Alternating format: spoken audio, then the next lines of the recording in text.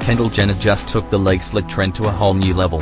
The model arrived to the Vanity Fair Oscars after party in a shimmery black gown with two panels hanging down from the front and the back, revealing her legs from the hips down.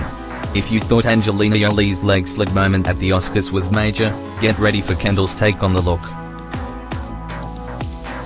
The dress is even more surprising from the side.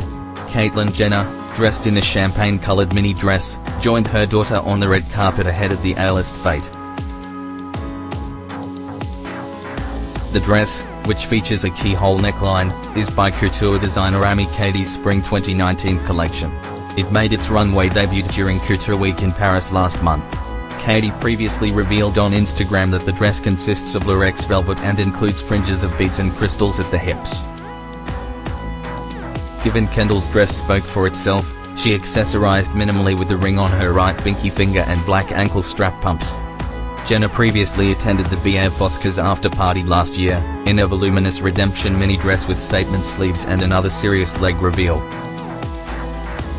The leggy looks come as no surprise for Jenner, who has a penchant for naked dresses on the red carpet, whether it's at Cannes Film Festival or out and about in Paris. It was only a matter of time until she brought her risque style to the Oscars, too.